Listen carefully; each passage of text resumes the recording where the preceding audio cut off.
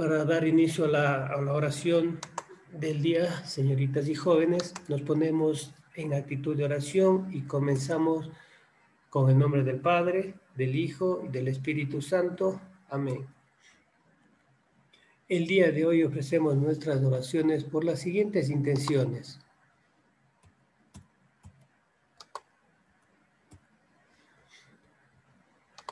Por la paz del mundo entero, la estabilidad de las santas iglesias de Dios y por la unión de todos, por quienes viajan por mar, tierra o aire, por los enfermos, los afligidos y los cautivos, y por su salvación. También te pedimos, Señor Jesucristo, para que nos des esa paz interior que siempre necesitamos día a día para poder surgir y luchar contra nuestras adversidades que se presentan en el diario vivir.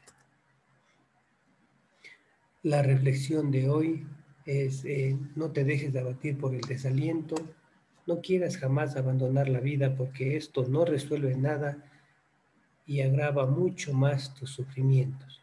Si piensas que huyendo te sentirás aliviado, te engañas rotundamente. No te vengues de los otros haciéndote mal a ti mismo. Reacciona con todas tus fuerzas y no te dejes abrumar por la incomprensión ajena.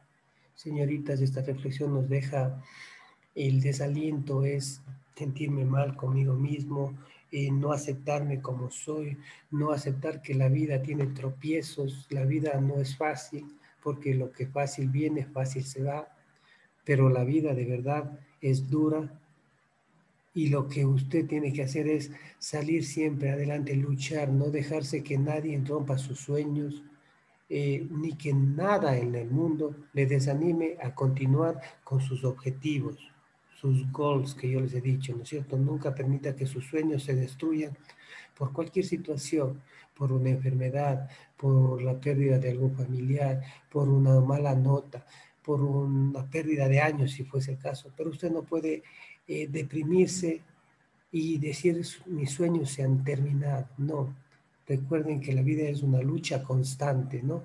Este mundo es una lucha constante. Desde que nacemos, desde el primer día que usted viene al mundo, viene a luchar y morirá luchando.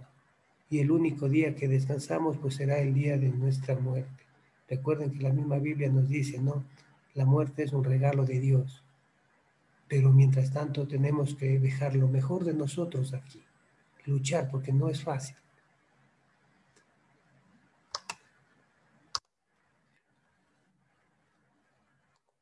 Vamos a dar el Padre nuestro que estás en los cielos, santificado sea tu nombre, venga a nosotros tu reino, hágase tu voluntad en la tierra como en el cielo. Danos hoy nuestro pan de cada día Perdona nuestras ofensas como también nosotros perdonamos a los que nos ofenden.